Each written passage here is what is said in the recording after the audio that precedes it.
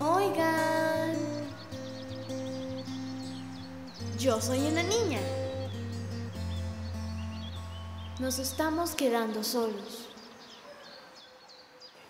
Cuando los árboles hablan es porque tienen algo muy importante que decirnos.